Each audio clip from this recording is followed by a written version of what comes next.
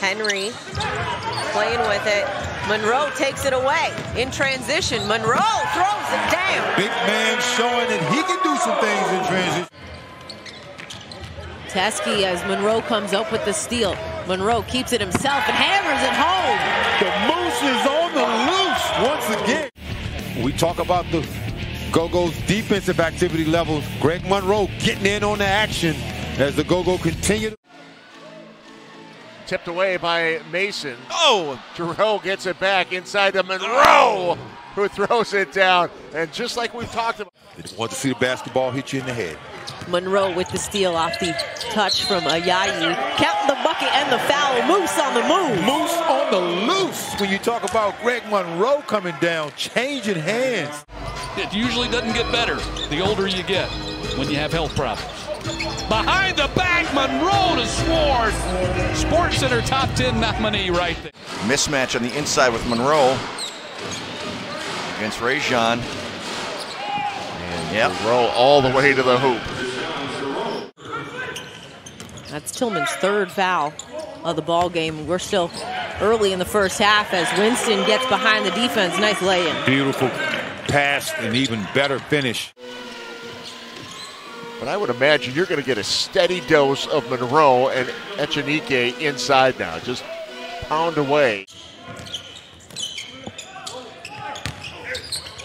Monroe off the inbounds right to the hoop. Excellent hook shot right there, Greg Monroe. Powell harassed defensively. Harrison to the corner. Holland attacking block from Monroe. That's an excellent rotation right there by the big fella.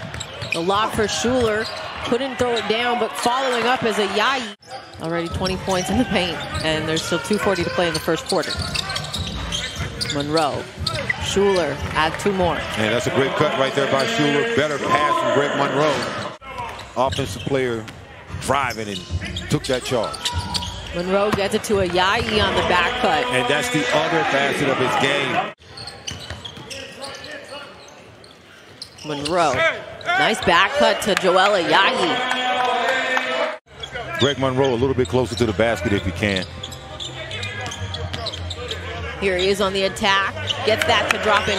And conversely,